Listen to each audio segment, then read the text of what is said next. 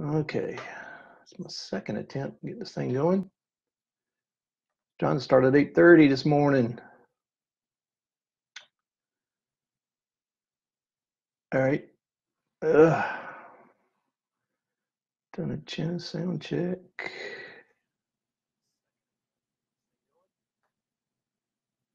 I gotta figure out how to do these sound checks better.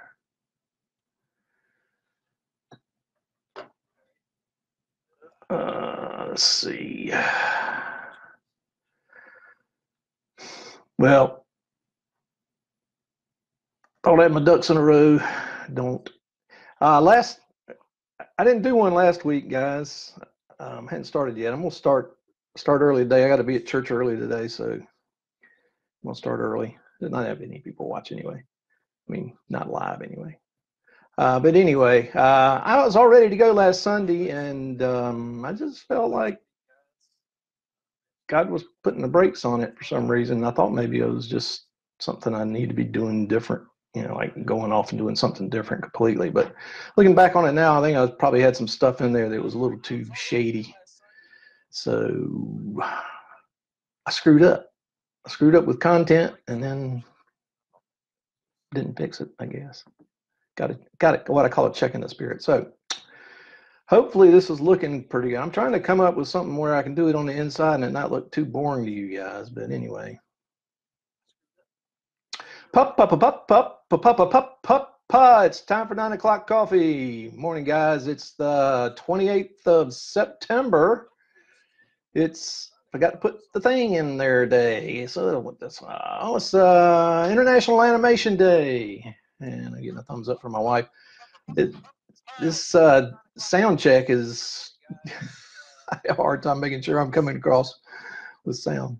Oh, good morning, Terry. How are you? It's Terry Bell from Greenville, North Carolina. Fellow believer. Why not a fellow believer? You'd be a girl believer, wouldn't you? uh, check by uh, let's see. Oh, to coming up today, preventing bats in your belfry, zombification, apple and snake, one brain, three minds. Ain't nobody got time for that. Dead man living, cats, dogs, and bats. Check by later for links in the description after the stream is over. It's about stuff I'm passionate about it health, humor, science, and God and you guys. I don't talk. I do. I am political, but I don't talk about politics. And the most of the stuff about God is at the end. So if that creeps you out, and that's when you should what zombify down the road. Gotta put that in there too. What the days? International Animation Day, created by the International Animated Film Association. Fine, a lot. Sound is good. Oh, good. Thanks. Video looks good too. Well, I'm hope hopefully the sun, when the sun starts rising behind me, I won't fade out. I'm afraid that the uh, the light won't be right, but we'll see what happens. I do have it going on on YouTube too, on from a different camera from my Mevo. I figure, I'll, well, I'll tell you about my Mevo in a minute. Uh, let's see. Created by the International Animated Film Association in 2002, the unofficial holiday commemorates the day in 1892 when Charles Emile Reynaud's Reynaud's Reynaud's Theatre Theatre Optique made its first public appearance at the Grevin Museum in Paris, France. Theater optique or optical theater was a machine that used a projector and mirrors to create images on the screen. The images were painted on a ribbon wound into a spool.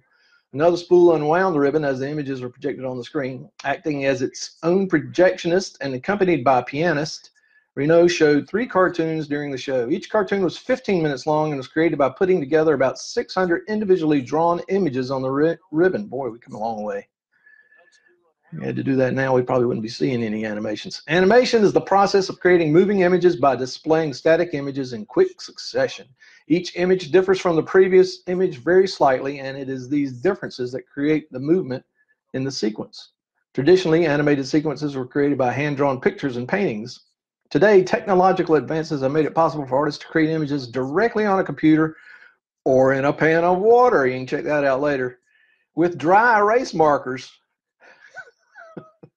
Learn how to make your own animated movies using just your phone or your computer or plate of water.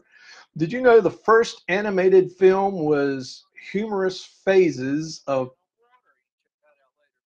funny faces, humor, humorous phases of funny faces. It was drawn on a chalkboard. It was created by J. Stuart Blackton and came out in 1906. I'm going to leave a link to that very video so you can watch it. Um, uh, oh, today's Mother-in-Law Day. Uh, I was tempted to tell Matt about that yesterday, but I decided not to, and then tell Lizzie too because I don't want to. I don't like starting new holidays.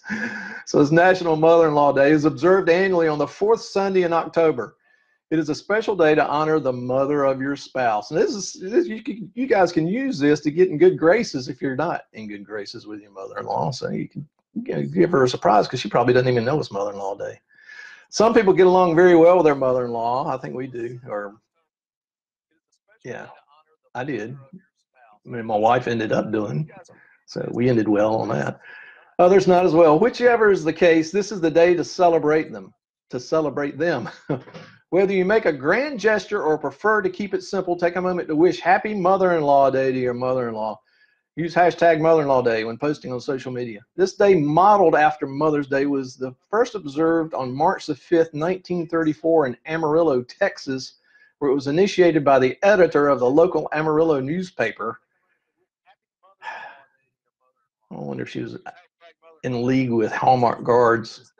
It's also National Chocolate Day. Now we do a lot of chocolate around here, but uh, and I I don't hold back when I can find a chance to mention it. So I'm not going to go into here into real deep, but here's here's today's five things to know about chocolate. White chocolate originates from the cocoa plant or cacao plant. That's what I call it. But it's not chocolate.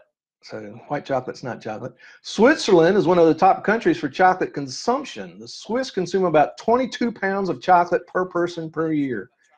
I think I consume about a pound of chocolate a week. I mean, it's not sweet chocolate, it's that dark chocolate. So that means I'm consuming about 52 pounds of chocolate a year. Uh, maybe that's what's causing my weight problem. Most cocoa comes from West Africa. I did not know that. I thought it was in South South America, and I was sitting there trying to figure out why I thought it was in South America. And number five tells me why. So, um, number four, allowing chocolate to melt in your mouth produces the same or even stronger reactions as a passionate kiss. I, I find that hard to believe. Cocoa beans were used as currency by the Mayan, and that's number five. Cocoa beans were used as currency by the Mayan and Aztec cultures. Now, there's where I thought it was down in South America. Perhaps this is where they say money grows on trees came from. Okay, it's Plush Animal Lovers Day. Also celebrates all plush animals. Plush is a fabric made from materials such as silk, cotton, polyester, and wool that raises to a thickness of at least an eighth of an inch. The terms plush animals or stuffed animals are often used interchangeably as many plush toys are also stuffed. Origin of the day, origin of the day is not known, but it may have been created in reaction to Teddy Bear Picnic Day to include more animals besides just teddy bears. The first large-scale creation of stuffed toys was done by German German trying to remember but Steiff. Yeah, it's kind of hard figuring out German with the E's, I's, and I's. I used to know how to pronounce that. German Steiff Company. I wonder that's where they got the word stuff from. Steiff. Steiff Company in 1880. One of the first plush animals in the United States was the Ithaca kitten, which debuted in 1892. The teddy bear debuted about a decade later, 1903. So I wonder what the Ithaca kitty looks like. That same year, a stuffed rat, Peter Rabbit was patented. Another early stuffed animal was the sock monkey. Now that's back. I've seen sock monkeys all over, which became popular during the Great Depression. Oh, see, Linus said hi. Oh, hi, Linus. Sound, that sounds good. Oh, great. You guys holler out of it and screws up. I appreciate it. I'll take my mic off and just use the camera camera uh, sound. But I, whenever I watch this stuff after I'm doing it, and it's not with mics, I'm going, I don't even want to watch it. It's, it sounds just so bad. And I see it on YouTube like that a lot. People talking and it sounds terrible. It's Pumpkin Day. It's National Pumpkin Day. Pumpkins are the harbinger of the harvest season, appearing every year as the first sign of autumn. Did you know that there are over 45 different varieties of pumpkin? They range in color from white to red to even blue. Pumpkins can be grown on every continent except Antarctica. But you could do it if you concentrated, kept it inside. And the United States produces about 1.5 billion pounds of them each year. A Wisconsin farmer grew the largest pumpkin ever recorded, used seaweed, cow manure, and fish emulsion to grow his pumpkin, which weighed a total of 1,810 pounds and was the size of a dumpster.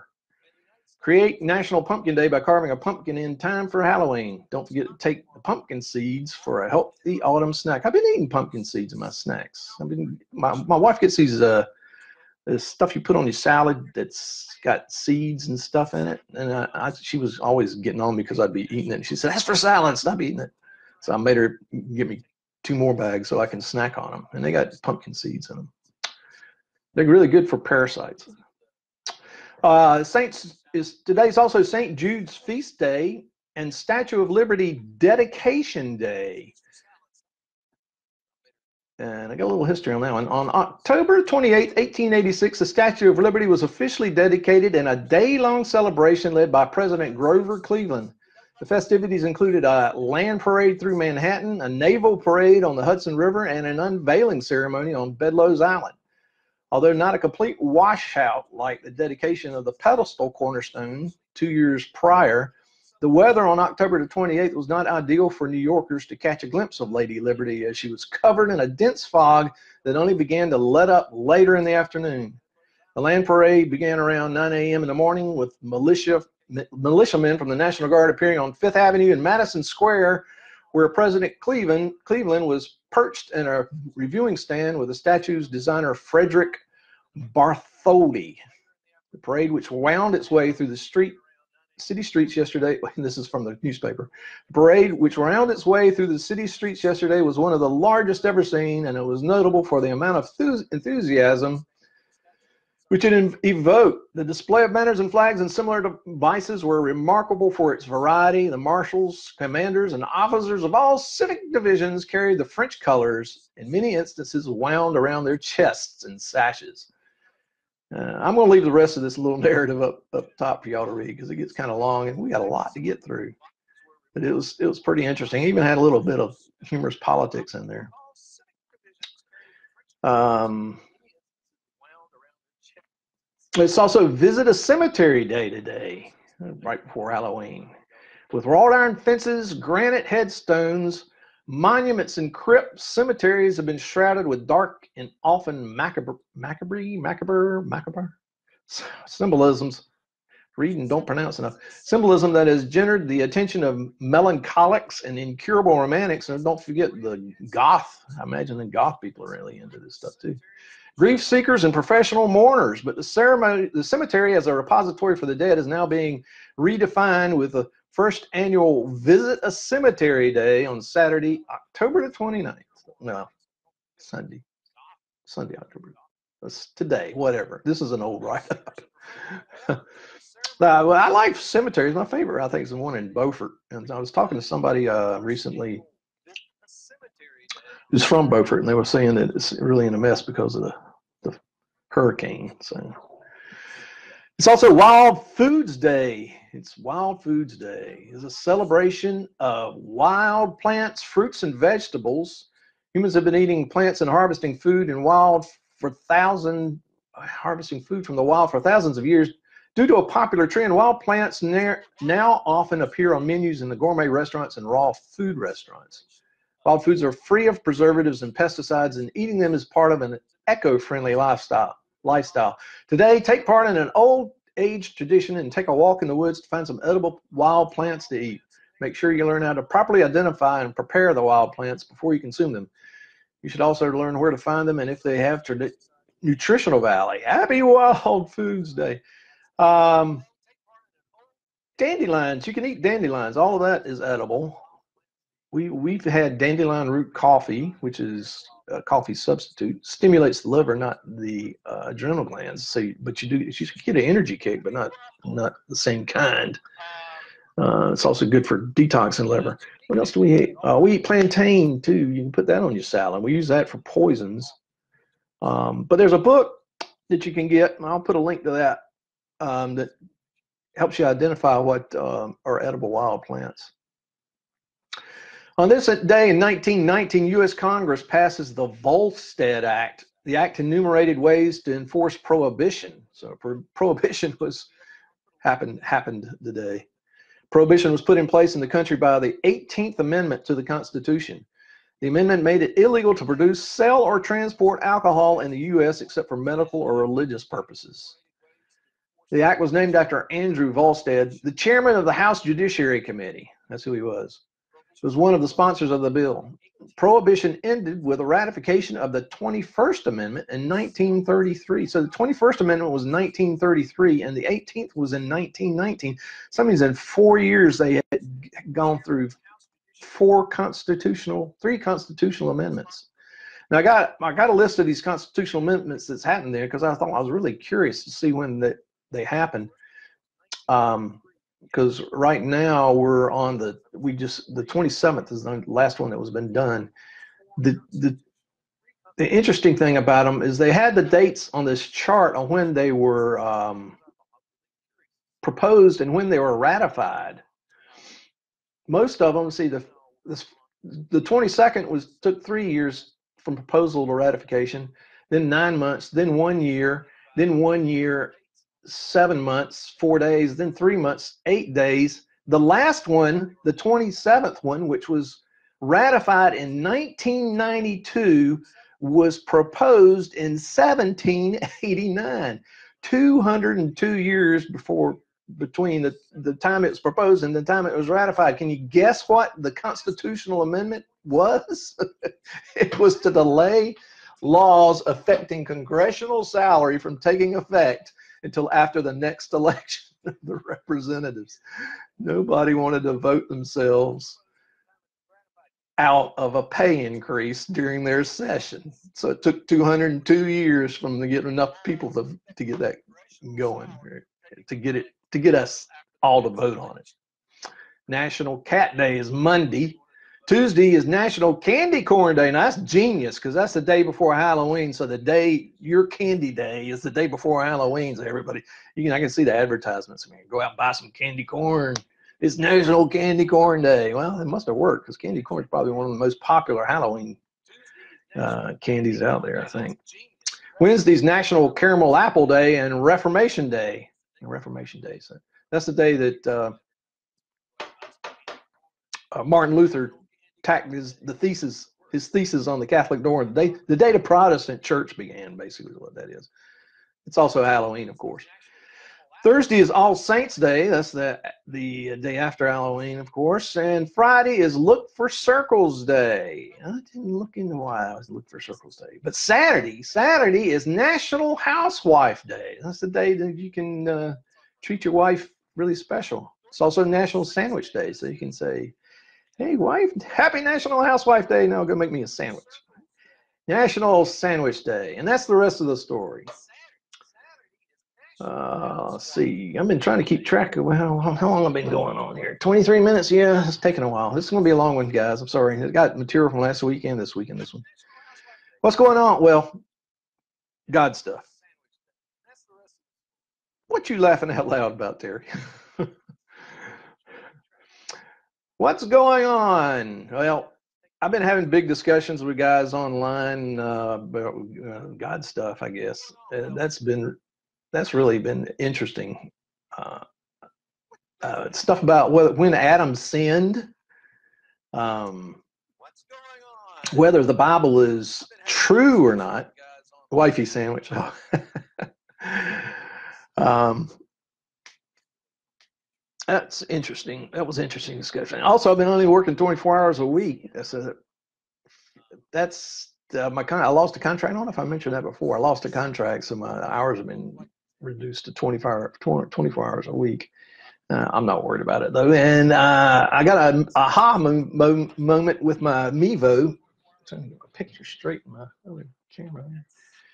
Uh, it turns out my camera is not compatible with Mevo. So that's why the sound pro- I was having sound problems. I'm surprised Mevo didn't tell me that because I told them exactly what kind of hardware I had. So I'm gonna have to upgrade my camera to get the Mevo to work. Although I, am working it now, it's it's doing the YouTube video, uh, YouTube stream, but I'm using a mic that's wired directly to the camera, so it's not going through my phone. Um, a frog gets alone. There's a joke about a frog gets alone. This is uh, Norm Macdonald. I've kind of been watching a lot of his stuff lately. He is hilarious to me. But Norm, Norm gets. I watched this video. Norm gets a cat, and it's pretty pretty funny. So I'm gonna put a video for that to watch. Uh, we finished watching Man in the High Castle. That's a slow moving uh, sci-fi uh, it's got a lot of rude stuff in it. It's in a Netflix thing, so you got to watch it through uh, VidAngel if you're that kind of stuff offends you. Uh, but we finished watching it. But let's talk about parallel universes. So it's kind of interesting. Kind of reminded me. Kind of reminds me of um, Fringe in a way. But in this parallel universe, which is where up to now everything or near about I'd say 99% of the stuff took place. Uh, the Nazis and Japan actually won World War II, and the United States is occupied by uh, the Germans up to the uh, Rocky Mountains, and then Japan. Well, not Rocky Mountains before Rocky, uh, maybe Mississippi River, and then there's a neutral zone between Mississippi River and the and the uh, the mountains, and then Japan. Japan's in possession of west of California and there's a lot of it's a really interesting show but it, it does move at a slow pace. Um, whiteboard animation apps i've been looking into those. They've been kind of interesting. Those are the ones where they you see the hand drawing on the whiteboard. There's a bunch, there's a bunch of apps doing that. So that's some animation. I'll give you a link to uh, an app for doing that. Um, also cordyceps keep coming to mind whenever i see zombies and halloween and cordyceps there's, there's going to be a link down below on what cordyceps are, but basically, they're very eerie in that they what they do is they they infect an animal and cause them to think in a, such a way that perpetuates the infection, kind of, kind of like a zombie. And one of the the most popular ones, I guess, is a, is the ant. A fungus infects this ant and makes the ant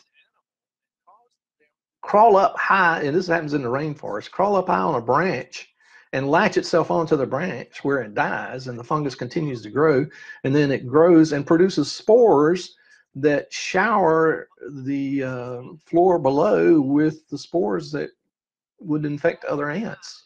So when an ant actually, you'll see this video, but it's kind of interesting. So when an ant, no, another ant realizes that this this ant, uh, uh, ant B has been infected by this fungus. It's basically a zombie ant.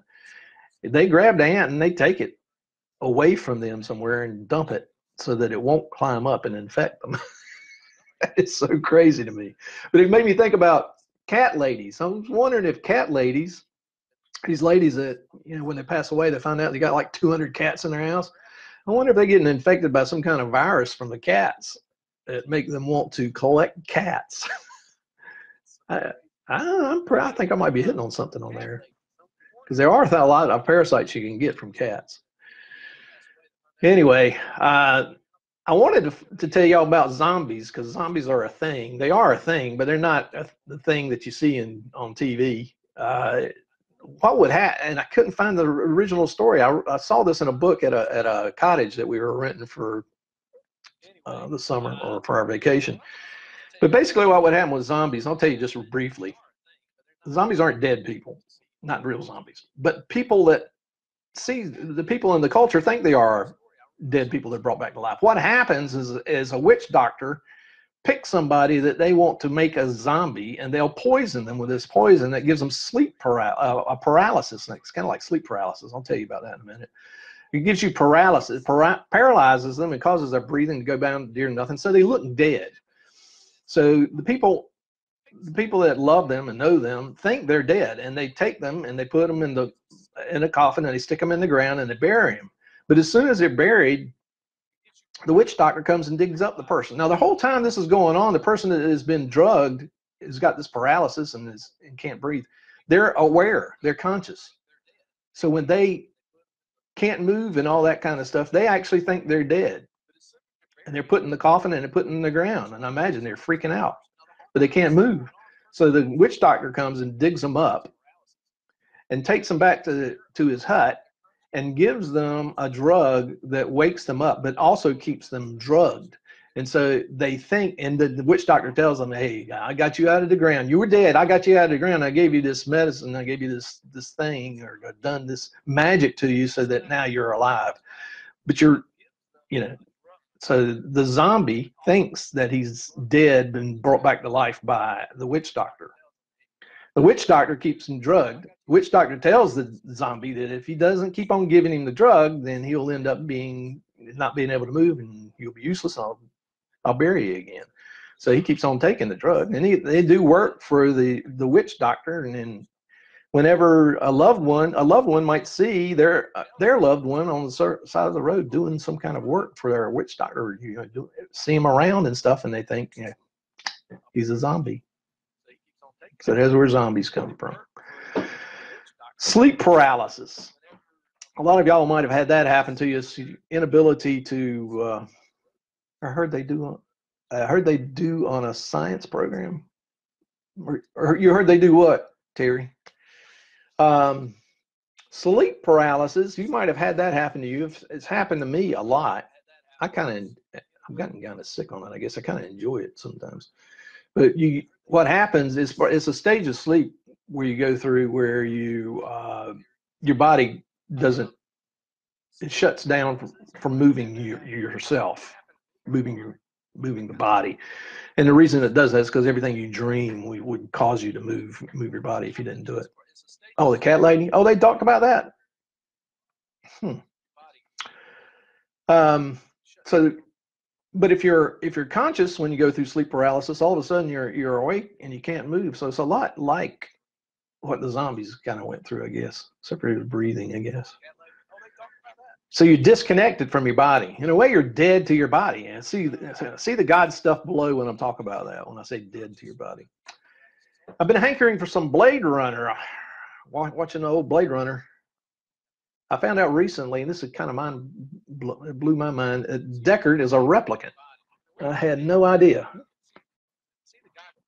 According to the director, he's a replicant. According to Harrison Ford, he's not a replicant. According to the author, it's more. It's kind of like he doesn't really want you to know if he's a replicant or not. I think is the way it went. Anyway, that's why I went cats can affect cat owners, as you said. Yes. Oh, really? Oh, nice. Thanks, Terry. They blinded me with science. Lifting negative mass. This this isn't uh, poo-pooing science. This is just some real science. Lifting negative mass. What would it be like to lift negative mass? Uh, snakes, serpents, and dragons are dinosaurs. A lot of people kind of criticize scripture because they say there's, you know, or young earthers because they say there's no dinosaurs in scripture. Um, but there are dinosaurs in scripture. They were just referred to as dragons. Um, this is a video on this. Snake serpents and dragons or dinosaurs. Also snakes and serpents a lot of times you know the serpent in the garden is what tempted eve and a lot of times we think of that as a snake but a snake isn't a serpent necessarily. And a serpent isn't a snake. A snake is a type of serpent but serpents can be other things. You know in, in revelation satan is referred to as the dragon. So if he's the a snake in the garden and a dragon or is he a serpent in both, both places also, this video of Uptown Spot. This is Uptown Funk, the dancing robot dog dancing to the song Uptown Funk. Crazy. In case you missed it, Sarah's movie roundup. She did a review. I did not go see this movie. I can't remember why. I think it was just because I thought it was a scary movie. I'm not into scary movies, and they've been watching a lot of scary movies lately, so that's been missing. But they went and saw Bad Times at El Royale and she's got a review and she really liked the movie. She liked it a lot. She wants to go back to it. So it makes be a five star in my rating system. She's got a different rating system than I do. Mr. Mom, and I forgot why I have this one in here, but scars Michael Keaton, Teri Garr, Martin Mull, and Ann Jillian. Hadn't seen her in a while. I don't know if she's still around or passed away. And Christopher Lloyd. I don't remember him being in there. But there's a trailer. A lot of you guys, you young guys, know Michael Keaton from superhero movies and as playing serious roles. But at one time, he was what I called a stand-up comic. But I watched one of his comedy routines, and he's not really a stand-up stand-up comic. He's really a stand-up. Uh, this word? Well, you'll see. The name of the the name of the video has it. he's not really a, a although he's funny. He's yeah, I guess you would make it. He doesn't tell jokes. He doesn't. He basically. What's the word? Not impressions. It's uh. When you innovate, you're given something to do, and you you have to make it up. And the actors do it all the time. That made that explains why he was such a great actor because that's what he was doing. He was just doing things that was funny. Watch this Watch the video, you'll see. Uh, also, The Great Pumpkin. There's actually a link to a YouTube video that is the full episode of The Great Pumpkin, so y'all can watch that. Blade Runner, and this is for guys and snakes. It stars Harrison Ford, Rutger Hauer, Sean Young, and Edward James Olmos. And it's uh, this is for Living Man Walking. Did I go over those things? Living Man Walking? I think I did anyway, this this movie became a lot better to me when I found out when I discovered what noir was from watching all these old black and whites. Because this is what this is: is a science fiction noir uh, movie.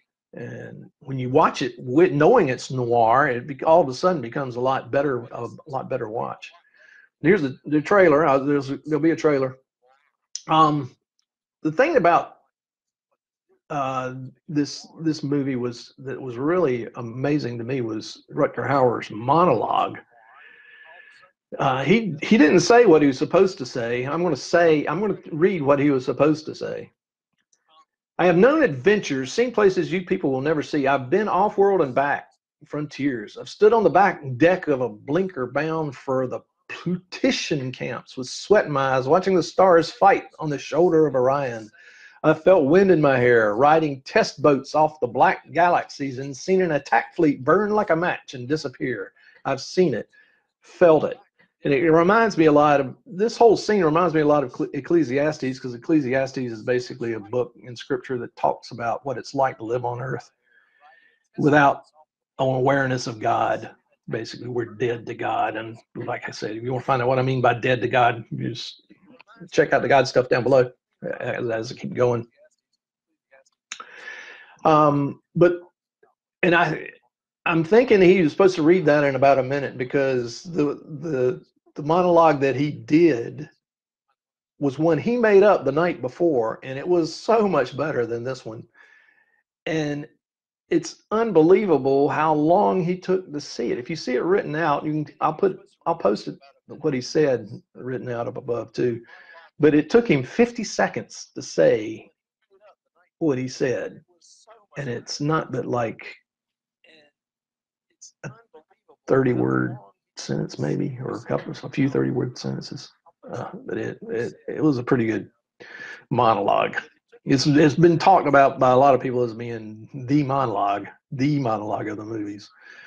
The Thing, this is, uh, guys, this is not the dog. This is for guys. The Thing and I'm not going to put who was in it because it was so long ago. Black Mirror. This is another guy's one. Not the dog. This is Metalhead. This is this is a, a, a, a an episode of Black Mirror where there is a dog similar to the, the spot that was up there dancing. And um, there's a trailer and a review of the trailer. Primer, you'll need all three of your minds for this one, guys. You know, three minds, one brain. This one's a time travel one. This ain't got no ain't got time for that. It's a celebration of the Mind Day that was for last week, but it's apropos for this week. You can see the trailer on that. Safety not guaranteed. This is a rom-com time travel, so ain't got time for that. Starring Aubrey Plaza, Mark du- Duplass, Jake Johnson, Karan Soni, Jenica Bergere, and Kristen Bell. I'll put all those other names because I recognize Kristen Bell. Jeff Garlin and Mary Lynn Raj, Rajskub. This is an independent film, and it's really one that, in case you probably you may have missed this one, this is it's pretty good. Midnight in Paris, another rom com. Ain't got time for that. Starring Kathy Bates, Adrien Brody, Carla Bruni, Marion Cotillard. I got to figure out how to pronounce her name. Rachel McAdams, Michael Sheen, and Owen Wilson. There was another guy in there. I, I can't remember who it was. He's famous now. I'll have to put that in there later. YouTube this. Iodine uh, this is a thing about how critical iodine is for our system and what what we can do to get rid of our being poisoned by chlorine and all that other stuff that's not good for us. Fluorine, chlorine, fluoride, and all that kind of stuff's not good for you. And this iodine actually will drive it out. This video on how to do that. What the heck? Caramel apple cheesecake simply because it's caramel apple day next week and I like cheesecake. And since I like cheesecake, I got a, a video on how to make Boston cream pie cheesecake cheesecake stuffed pumpkin bread, a video on which is better, coconut oil versus olive oil. I started drinking olive oil again last week because of this video. And cancer lives on sugar and dot dot dot dot. This is clickbait. You got to click on it to find out what what else cancer lives on besides sugar. Tricking your brain into learning more. It's a TEDx talk on how to trick your brain into learning more. This has to do with the one brain, three minds. What the tech the state of robots, video on that. Robots making robots, another video on how, well, not video, I think this is an article on how China's got robots making robots. This is getting close to what it would be like if you got artificial intelligence and robots making robots. And the, the finishing touch will be robots designing robots. We got artificial intelligence with robots designing robots and robots making robots. We're going to be in trouble. Uh, bringing the extinct back to life, video on how they can do that, and dinosaur blood, about how they're finding soft tissue dinosaur blood and other kinds of tissues and all kinds of dinosaur dinosaur fossils. It's kind of sh shooting an old Earth dinosaur type of belief in the foot. Mr. Know-It-All, cordyceps. So you can learn all about cordyceps and be able to impress everybody over Halloween about your knowledge of cordyceps. Okay, now we're into the God stuff, and I'm way behind. See, I've been doing this for 40 minutes. Good grief, and I got a lot of God stuff. The God stuff, I'm just going to be going through it pretty quick. Uh, I'll, I'll, be giving uh, scripture verses to check back by on, but and a, um, it's my apologies. I just get going on this stuff and can't stop. It's a disclaimer, so you check this stuff out for yourself. You know, and feel free to correct me if you think I'm wrong. Uh, you can do that down below, or you can send me a message, or you can send me an email, um, whichever way you want to do. Uh, because a lot of this stuff doesn't really fit with what you would call traditional, not traditional, institutional Christianity, I guess. You don't mean it. What? Sovereign. Sovereign's a big one. People use the word sovereign as if it means God is in complete control of everything, and that's not what the word sovereign means, although I do, believe God is sovereign. The religious meaning is in control, in complete control. Really just mean sovereign just really means king or the one in the highest authority. You can tell when someone uses it with the religious meaning because when you talk to them about it, you know, kind of poke them around trying to see where they stand on it, they'll they'll use phrases such as God is completely sovereign, which when translated means God's completely king, which doesn't really make sense. A friend of mine, Carlo, uh, who's into this same, same, kind of stuff I am, he posted this last last week. Um, so I'm giving him credit for this because it was really good. I, I, I used it in one of my discussions that I was having with a guy. Carlos says, I love preaching about God being in charge and not in control. Now, when you hear that and not in control, that really kind of make your feathers or hair on the back of your neck bristle, doesn't it? Not God's not in control. Uh, I love preaching about God being in charge and not in control. This, however, doesn't mean he can't take control because he can do anything. So and he can he didn't say that i said that but he he doesn't just do anything since he is love love does not insist on having its own way So love doesn't force others. We have free will. If we don't have free will, if God is completely sovereign and everything happens because he wants it to happen, then we no longer have free will. That's what it amounts to. This is First Corinthians 13, 4 through 6. Love is patient, love is kind, and is not jealous. Love does not brag and is not arrogant, does not act unbecomingly. It does not seek its own, is not provoked, does not take into account a wrong suffered, does not rejoice in unrighteousness, but rejoices with the truth. God hasn't just been loving though; He has other attributes. The only reason we don't we, there's a reason we don't see His other attributes today. In the past, at times He took control just as good earthly king would. You know, if something really bad happened to somebody's kingdom, the king would take control and do something. He'd send his, his military out and have stuff done. But people in the kingdom still had free will. It's just that God would, I'm not God, the king, the king would interject and stop certain things. And just as just as a good king would do that, a good earthly king would do that. God does it, and it includes judgment, punishment, and wrath. Those are referred to as strange works. Strange works he performed to make right, make things right, and to accomplish his plan.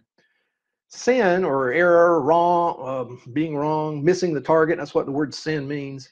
Is the reason for his strange work. In Isaiah 28, 21, you read, For the Lord shall rise up as in Mount Perazim. He shall be wroth as in the valley of Gibeon, that he may do his work, his strange work, and bring to pass his act, his strange act.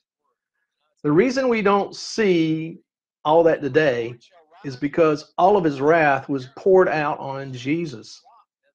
First John 14. At the cross, Jesus took our sin upon himself. He paid the penalty for our sin. He became our substitute. At the cross, God's justice was satisfied and his love fulfilled. Then Jesus said, It is accomplished, and he bowed his head and gave up his spirit. I forgot to tell you, I had my coffee. That's for YouTube. Let's see, here's you guys, and then there's YouTube up there. Uh, and ain't had any. It's black. Uh, we live in a great time where God's wrath has been exhausted on Jesus for the sins of the world and sin in general. 2 Corinthians 5:21 He made him who knew no sin to be sin on our behalf so that we might become the righteousness of God. And this is Colossians 2:13 through 14. And you being dead in your sins and the uncircumcision of your flesh hath he quickened together with him, having forgiven you all trespasses, blotting out the handwriting of ordinances that was against us, which was contrary to us, and took it out of the way, nailing it to the cross. Today, God has poured out his wrath on Jesus for our sake. So there's nothing you you can really do to get God to be to pour his wrath on you because he's already poured it all out on exhausted it out on Jesus. For Jesus' sake and his brides, us who believe, he has poured out his spirit on all flesh. So his wrath, all his wrath was poured out on Jesus, and all his spirit has been poured out on all flesh. This doesn't mean just on Christians, as some want it to mean. The verse is a fulfillment of a prophecy in Joel that was to the Jews. So if it was just to to Christians, then uh, there wouldn't have been a prophecy in Joel about pouring it out on all flesh. If flesh means Jews, the flesh either means just Jews or it means everybody. But just as Jesus has taken sin out of the way, atoned for everyone's sin, uh, got that out of place. Anyway, we live in a great time. This time right we're living in right now, there's no wrath. God does not pour out his wrath on anybody. And he's poured out his spirit on everybody. So First John 2 2, and he is the propitiation of our sins, and not for ours only, but also for the sins of the whole world. So Jesus died for not only for the sins of the believer, but for sins of the whole world. So everybody's sins are forgiven. Forgiven. That doesn't mean we go out and sin willfully. It just means they're forgiven. It, the Scripture talks about it. It's just, may it never be when they said, should, should we go out and sin since it's already paid for and God gets more? Well, I'm not going to get into that. So, all I'm trying to do is show us that, show you that we have the state of all the Spirit poured out on all flesh, upon all flesh, not in all flesh, upon all flesh. All of our sins are forgiven. Everybody's in the world sin is forgiven. So we're in that state. Now that doesn't mean they're all Christians. He's poured out his spirit on all flesh. Don't misunderstand. A Christian has the spirit within and upon him, while all flesh has just the spirit upon. Sort of like the way it happened in the Old Testament. The spirit would come on, come on the Old Testament saints and then leave again. uh, David said uh, something. He's got some psalm where he talks about bring back your spirit. For a believer, the spirit's never taken away. John 20, 21. And again, Jesus said, Peace be with you. As the Father has sent me, I am sending you. And with that, he breathed on them, received the Holy Spirit. If you forgive anyone's sins, their sins are forgiven. If you do not forgive them, they are not forgiven. Here, the disciples became born again. Just as God breathed his spirit into Job and Genesis, the risen Christ breathes into his disciples the Holy Spirit. They have the Spirit in them, but they didn't have yet have the Spirit upon them. They had it in them, but not upon, because the upon happened at Pentecost. They were to wait in Jerusalem for that. That happened in Acts, Acts 2, Acts 2 1. When the day of Pentecost came, they were all together in one place. Suddenly, a sound like the blowing of a violent wind came from heaven and filled the whole house where they were sitting. They saw what seemed to be tongues of fire that separated and came to rest on each of them. All of them were filled with the Holy Spirit and began to speak in other tongues as the Spirit enabled them. And in Acts 2.15, um, we read, For these are not drunken, as ye suppose, seeing it is but the third hour of the day, but this is that which was spoken of by the prophet Joel. And it shall come to pass in the last days, saith God, I will pour out of my spirit upon all flesh. And your sons and your daughters shall prophesy, and your young men shall see visions, and your old men shall dream dreams.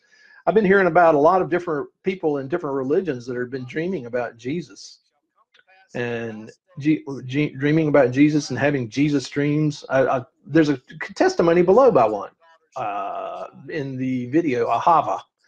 Uh, if I don't mention it, it's in the second second video um, in the uh, Jesus on the streets. Uh, and dream dreams and then and on my servants now here he's talking about christians and on my servants and on my handmaidens i will pour out in those days of my spirit and they shall prophesy so how can he pour out his spirit on sinful man too, though? Because because sin has been removed as a barrier because of Jesus taking it out of the way. First John 2 2, and he is the propitiation for our sins, and not for ours only, but also for the sins of the whole world. I did that one before. Got that one out of place somehow.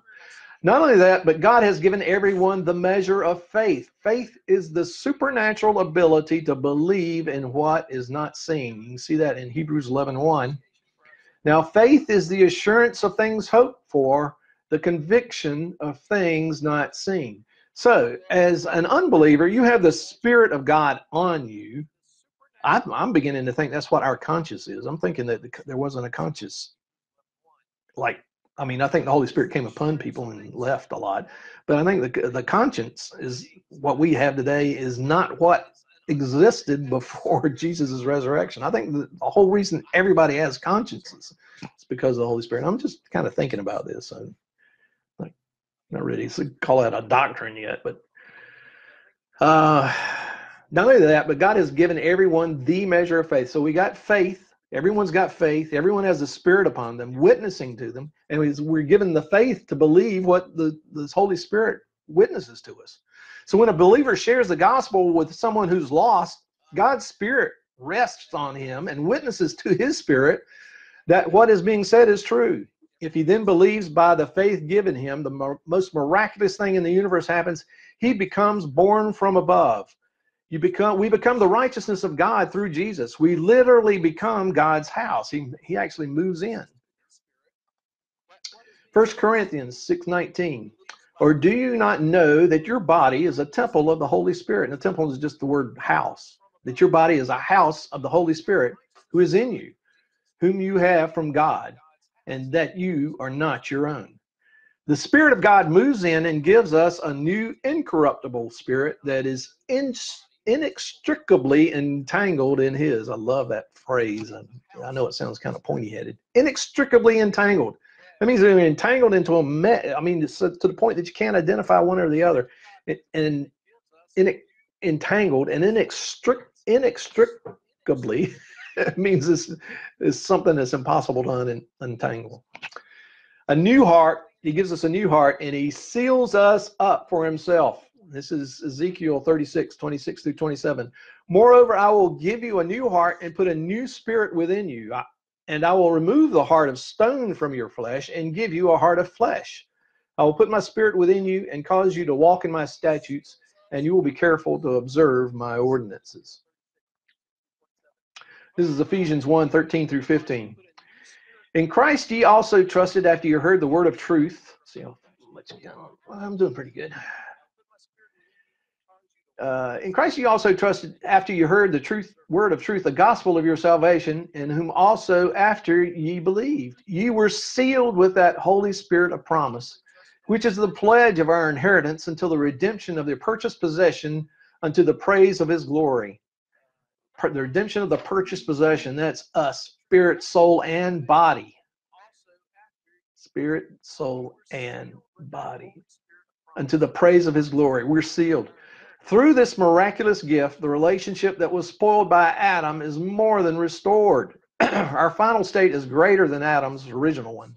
We are joined at the hip with God. We're signed, sealed, delivered. We're His. Remember that song? Signed, sealed, delivered, I'm yours. Sermonette, preventing bats in your belfry. Uh, um, I, I got to give. Uh, um,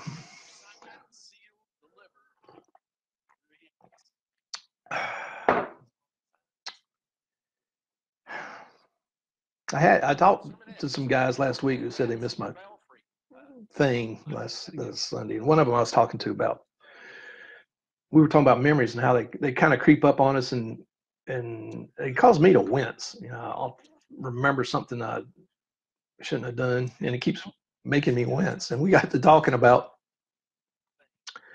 um, how to how to deal with that. And it came to my mind that we should be treating that a lot like well, let me just do this. Sermonette, preventing bats in your belfry. You can't keep bats out of your hair, but you can keep them from nesting in your belfry.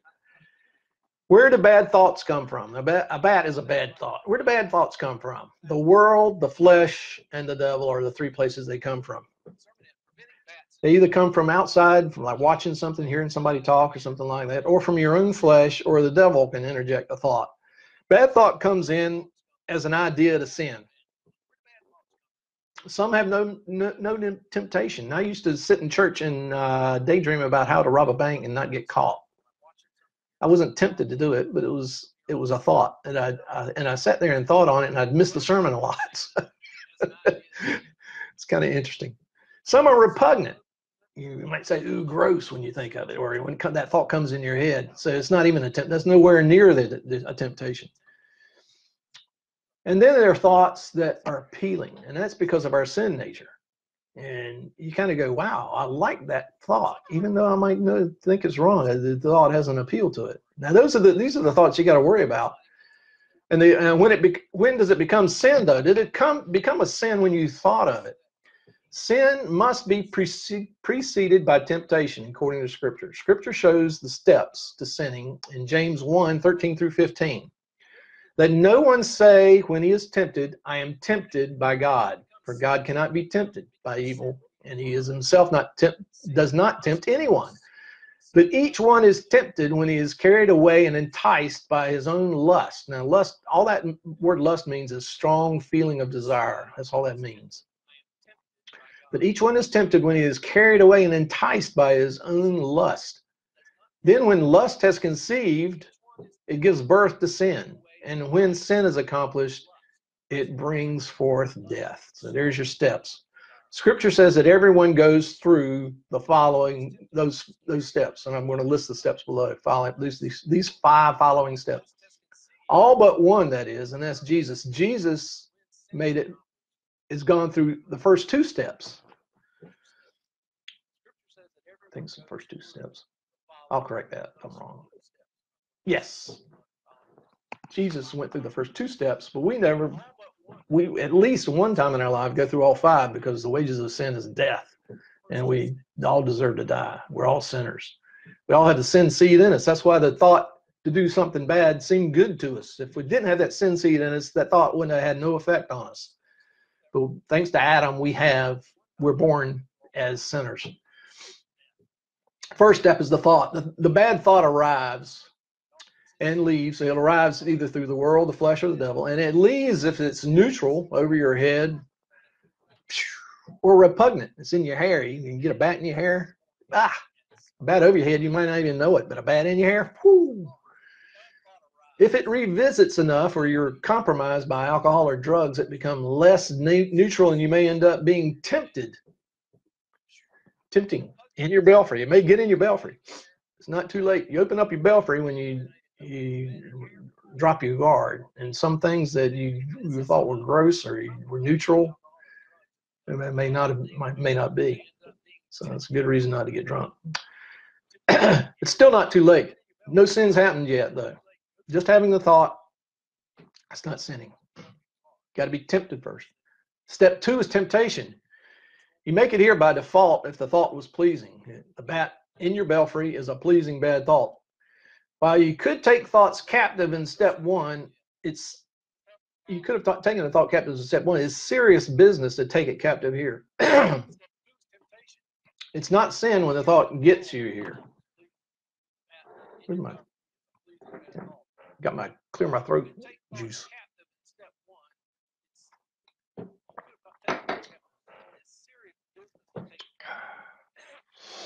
Um, it's not sin when the thought gets here. Hebrews 4:15 For we do not have a high priest who cannot sympathize with our weaknesses, but one who has been tempted in all things as we are, yet without sin. This is a verse to show you that Jesus always makes has made it to step 2 for all temptations. Anything that we're tempted in, Jesus has been tempted in, but did not sin. Okay, step 3 is lust because you don't take action, because you didn't bring that that bat into captivity and continue to use the thought to entertain you continue to use the thought to entertain yourself. You're basically feeding the bat. You magnify it until it becomes a bad, lustful thought. It basically you're, you increase the intensity of the emotion behind the thing you're thinking about. It was just maybe been just slightly pleasing when you first thought of it. It gets to be a grown, pregnant bat in this stage. It's been in, it's in your belfry. You've been feeding it, and it's pregnant. You continue to think about when you continually think about something, it magnifies it, makes it bigger, it makes it more, gives it more umph. That's why people obsess. You know, you got a girlfriend or boyfriend or a girl you had a crush on or a boy you had a crush on, and you sit there and think about them. They just get bigger and bigger and bigger and bigger and bigger. It's just the more you think about them that's the that's what magnify when you read it in scripture. That's what it means. In psalm 69 30 i will praise the name of god with song and magnify him with thanksgiving. So it's a slippery slope. It's not too late for a believer to keep from sinning although much more difficult because you've just now you got this almost like a habit going of feeding this bat.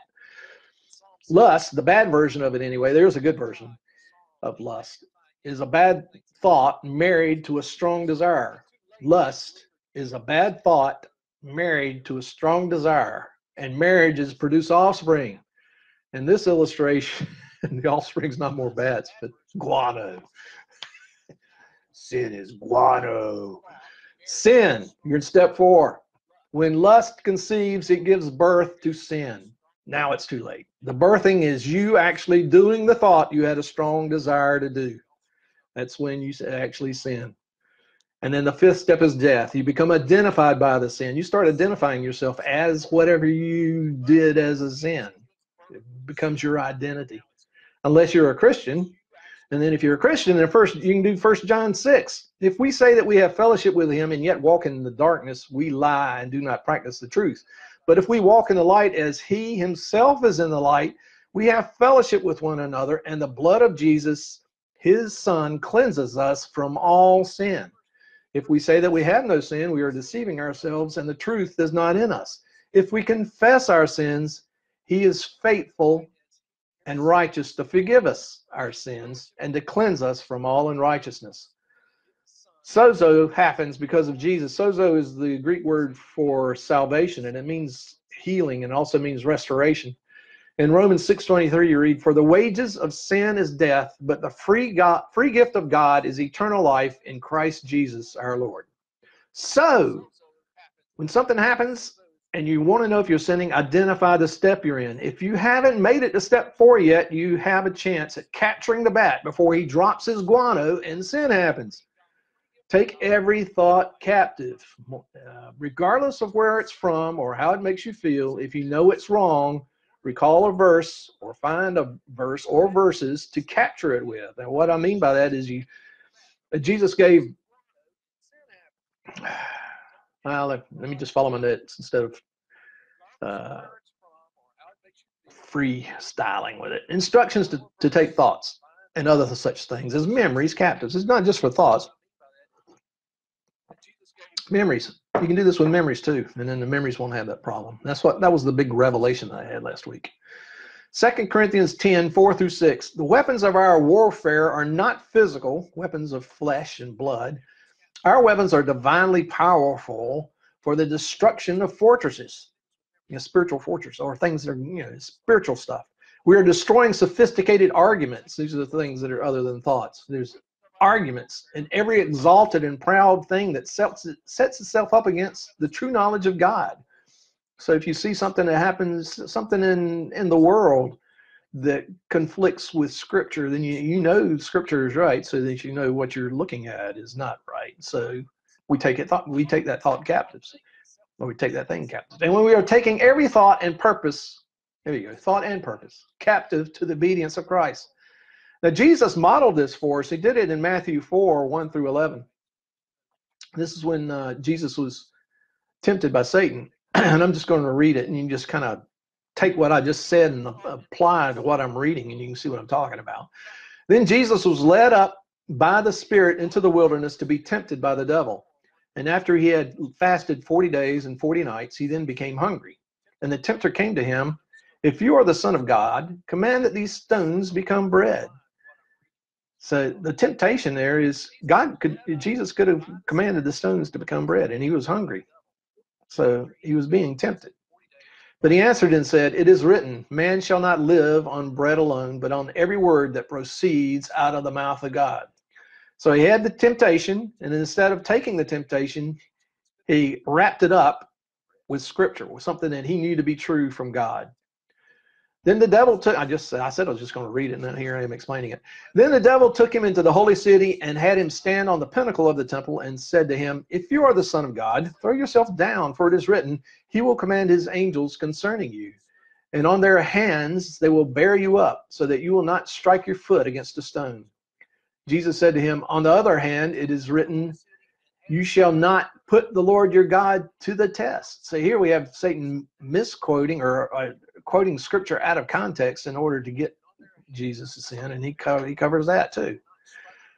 Again, the devil took him to a very high mountain and showed him the all the kingdoms of the world and their glory. And he said to him, All these things I will give you if you will fall down and worship me. Then Jesus said to him, Go, Satan, for it is written, You shall worship the Lord your God and serve him only. Then the devil left him, and behold, angels came and began to minister to him.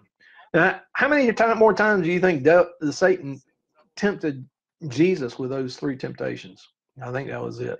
And I think that's what it, is with us. Every time the thought comes back, if the thought does come back, you take it captive. Every time the thought comes back, that means oh, that you, you didn't take captive. Well, it comes back with temptation. Every time the thought comes back with temptation, then you know that you didn't take it captive. But you're but you're working on it. You should it should be a weaker temptation. Then you know the bad is still flying. The temptation should be less unless you gave birth last time, which probably made it a stronger temptation.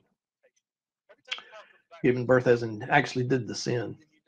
Spray more word on it. If the thought comes and there's no temptation, it's on its last wings. Finish the job. The bat will die in captivity, never to return. We keep doing that.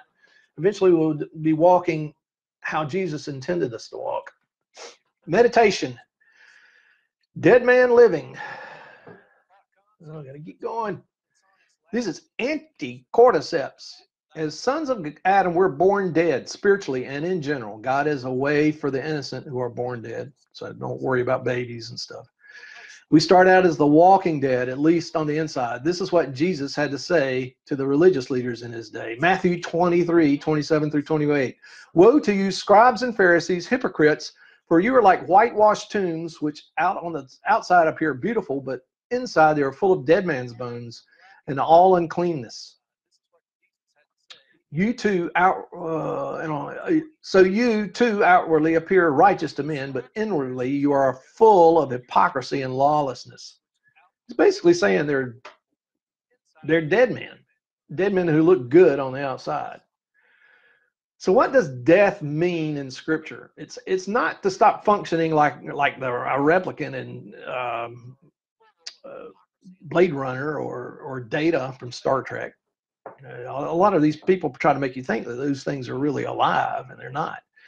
It means to be uh, well, and death doesn't mean that anyway. It doesn't mean it means to be separated from, disconnected, like in the sleep paralysis thing up above. When we were, when you're suffering from sleep paralysis, in a way, you're dead to your body. You don't feel it, and it doesn't respond to you and that's that's what uh, death is. In Genesis if you read Genesis 2 and 3, you'll read about the day uh, about uh, God talking to Adam, and he's talking about on the day you eat of the koge, what I call the koge fruit, K O G A E, all caps, knowledge of good and evil, koge fruit, you shall die. It's not an apple. Everybody seems to think it's an apple. A lot of people do. It's not an apple. It's, it's the knowledge of this fruit from the knowledge of the tree of good and evil. On the day you eat of that, you shall die. So even Adam and Eve died in Genesis on the day they ate of the fruit, but it doesn't appear that to us. Eve dies from eating the fruit as a result of being deceived by the serpent. Adam dies from eating the koge fruit of his own free will. He wasn't deceived. That was the only way he could die since he didn't know good from evil. He hadn't eaten from the tree yet, so he can't know good from evil. The only way he could have died or sinned was to do was to eat from the fruit because that was the only thing that God told him not to do. Adam was tempted to choose Eve over God by eating, and he did it. He knew he would die, and that way he could be with his bride, though she was as good as dead. Jesus comes and gets his bride, the church, from the dead, bringing her into eternal life. I'll say that again. Jesus comes and gets his bride, the church, from the dead, bringing her into eternal life. I wonder if that was part of God's plan for Adam if Adam had chosen not to eat. Adam eats, Adam dies. If you look at the verses, it may not look like that he died on that day, but they did. They died spiritually. His spirit, the part of him breathed into him by God, the part of him that connected him to God, was separated from God. It was now severed from God. That's spiritual death. God refers to the lost as being dead in their sins. That's what he means by that. He means that they're separated from him and in their sins. And believers, as dead to sin, separated, we're separated from sin because of what Jesus did on the cross, but alive to God. So when you read dead in scripture, think separated, and then try to figure out what it's separated from. This is Ephesians 2 1 through 10. And you were dead, separated from God, in your trespasses and sins, in which you formerly walked according to the course of this world. Here's the world according to the prince of the power of the air. There's the devil. He's not in hell, folks. He's still around. Of the spirit that is now working in the sons of disobedience. That's the flesh, our, our corrupt human spirit. Among them, we too formerly lived in the lusts of our flesh, the strong desires of fallen man, indulging the desires of the flesh and of the mind, and were by nature children of wrath, even as the rest. But God, being rich in mercy, mercy, not getting what we deserve, He took he, the wrath was poured out on Jesus. So we deserve wrath, but we don't get it. So that's where the mercy comes in. Because of his great love, which with which he loved us, uh, that's agape love, sacrificial love, the kind of love that move, the kind of hero movies where the hero sacrifices himself, the kind of that kind of love. Even when we were dead, our transgressions, in our when we were dead in our transgressions, disconnected from him and wallowing in our spiritual filth, our guano, made us alive together with Christ by grace. God's righteousness at Christ's expense, you have been saved, made completely whole, and raised us up with him and seated us with him in the heavenly places in Christ Jesus. Do you feel it? yeah, I don't either. Nevertheless, you are there because the scripture says it. When you be, accept Jesus as your Savior, you're seated with Jesus in heavenly places somehow so that in the ages to come he might show the surpassing riches of his grace and kindness toward us in Christ Jesus.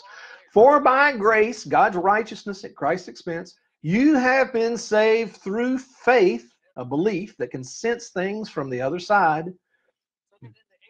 And that, not of yourselves, that supernatural faith did not come from, or supernatural belief did not come from us. It was given to us by God. It is the gift of God. There you go. It is the gift of God, not as a result of works, so that no one may boast. That also sounds great, right? But that's not how we think. When we become born again, born from above, we have the fleshly mind that exists in the soul along with its old ways of thinking. But we get a spiritual mind and the mind of Christ. So we get three minds. Romans 8 7.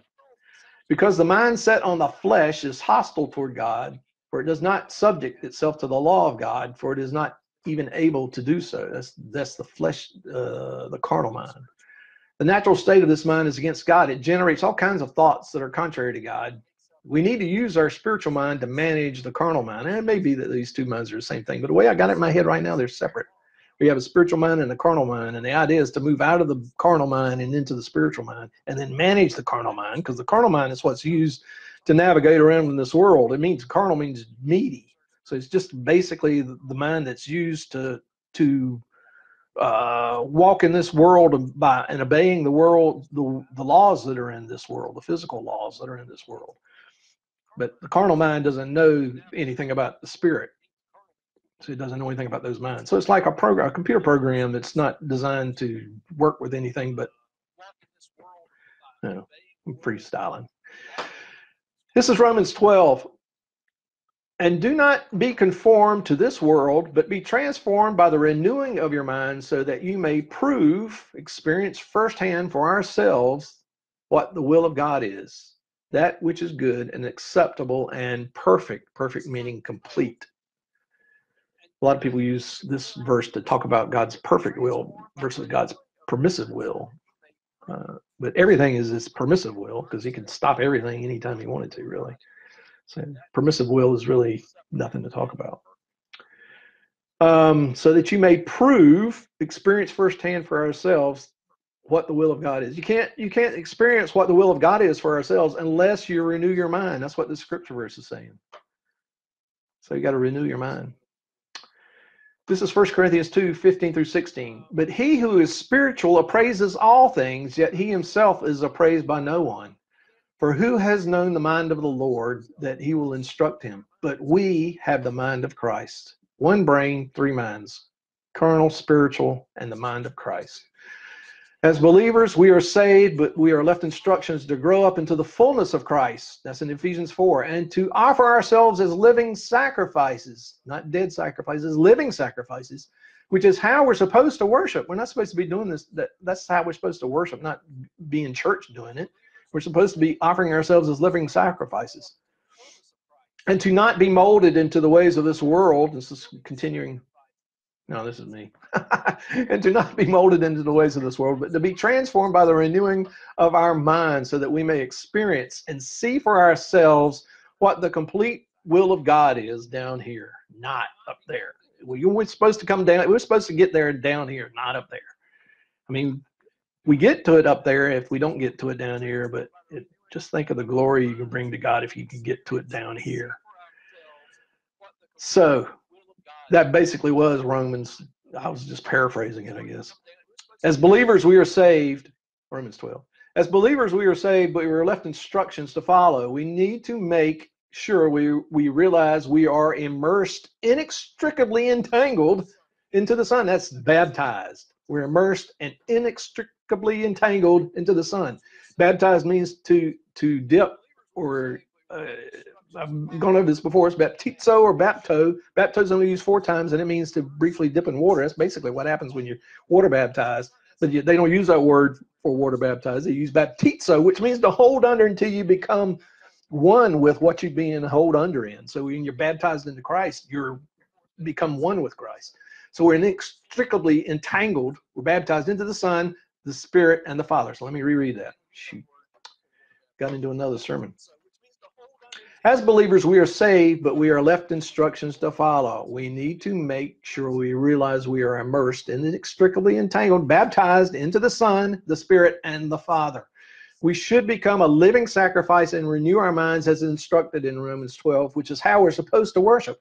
And to not be molded into the ways of this world, but to be transformed by the renewing of our mind, so that we may experience and see for ourselves what the complete will of God is down here, not up there. We need to grow up. I've repeated a lot. We need to grow up into the fullness of Christ, as it says in Ephesians 4. We should move on and forward. How will we know when we get there? We will be walking as Jesus walked. We'll be doing the things that Jesus did and taught his disciples to do and taught his disciples to teach others to do. The fruit of the Spirit will be forever present with us. In Galatians 5, you can read about that in Galatians 5 22 through 23. John 14, 12. Verily, verily, I say unto you, he that believeth on me, the works that I do shall he do also. And greater works than these shall he do, because I go unto my Father. This is just proof that what I said was scriptural. We are supposed to be walking down here like Jesus, and this was proof of it. John said that. I mean, Jesus said in John, Verily, verily, this is mean basically means truth bomb. I say unto you, he that believeth on me, the works that I do, shall he do and greater works than these shall he do because I go into my Father. Now, the reason we do the works, the reason we're able to do the works is because Jesus went to the Father.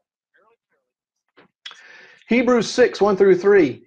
Therefore, leaving the principles of the doctrine of Christ, let us go on unto perfection, completion, fully mature, not laying again the foundation of repentance from dead works and of faith toward God, of, do, of the not, toward God, of the doctrine of baptisms. This is a list and of laying on, I should repeat it again. Not laying again the foundation of repentance from dead works, not laying again the foundation of faith toward God, not laying again the foundation of the doctrine of baptisms, not laying again the foundation of laying on of hands, not laying again the foundation of for resurrection of the dead and of eternal judgment. This will we do if God permit. That is, go on to perfection.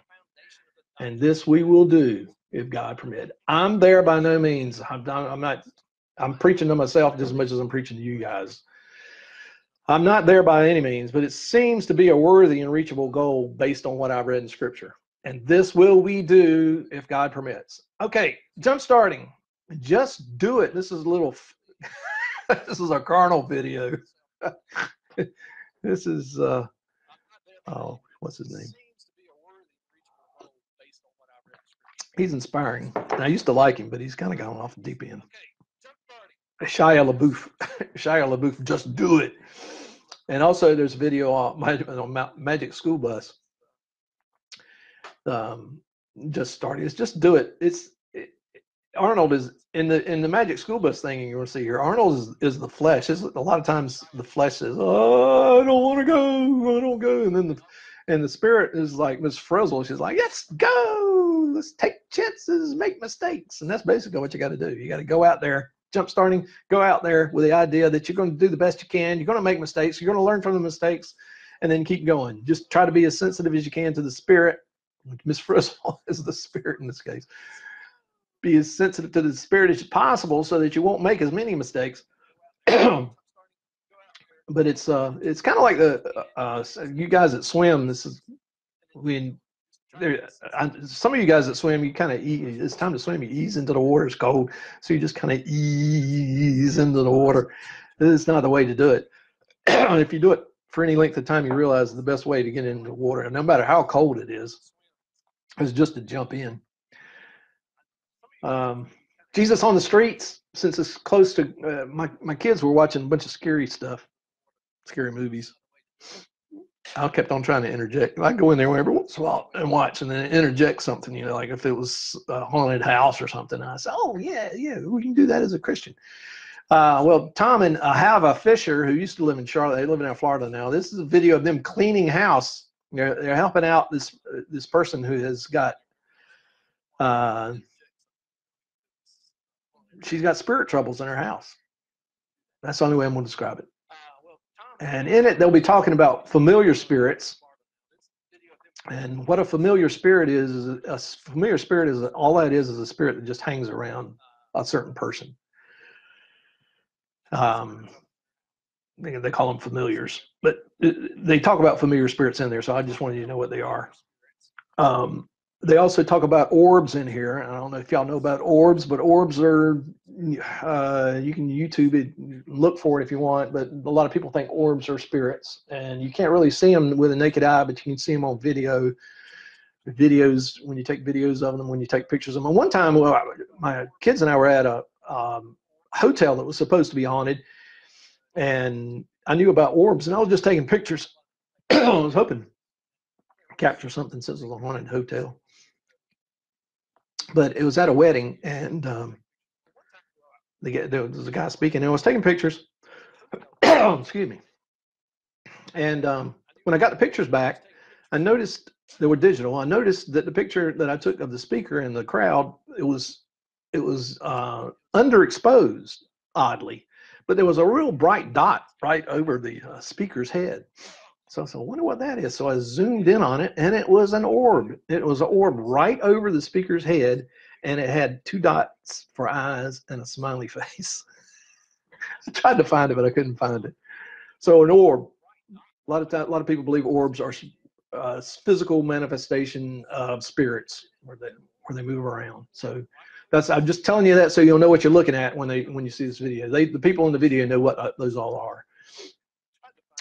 Uh, this is also in this video. It's got the the the person who owns the house accepting Jesus as their savior. Uh, the dog noticing a difference in her afterwards. Um, a physical mir- miracle happening, what I call the big goosebump, you know, from Goosebumps, and, and a postscript by um, Tom and Ahava Fisher. So check that out. also it, down below will be zealous evangelism and signs when an atheist. Now this has got dead man living in it how it's done what a word of knowledge is how that worked uh, blessing someone uh, an example of an atheist being won over to christ um, a demon being delivered how it's not a placebo effect. A lot of people think it's placebo effect. And the gospel presentation the gospel is presented there and how faith is required to believe. But we're given faith um, vision being healed. This is a long one. This is a half an hour long, but it's worth watching. And uh, in it also, Ahava gives testimony about how she was an unbeliever and saw vision of Jesus and knew who he was by the Holy Spirit being upon her. You know, I was telling you before. She wasn't born again yet, but she knew who Jesus was and saw him before. So check that video out. Uh, Father, thank you for everything you do for us. Thank you for uh, your marvelous mercy that you've taken wrath out of the way from us and poured out your spirit and poured out grace on us and have made it as easy as possible to be born again. Help us to realize that. Help us to share our faith with others so we can bring others into your kingdom and bring glory to your name. Jesus' name we pray. Amen. Thank you guys for coming back and visiting on Saturday, nine o'clock coffee. an hour and a half. Man, that is the longest one yet. It's going to be interesting to see how many people actually watch this. Okay. See you guys.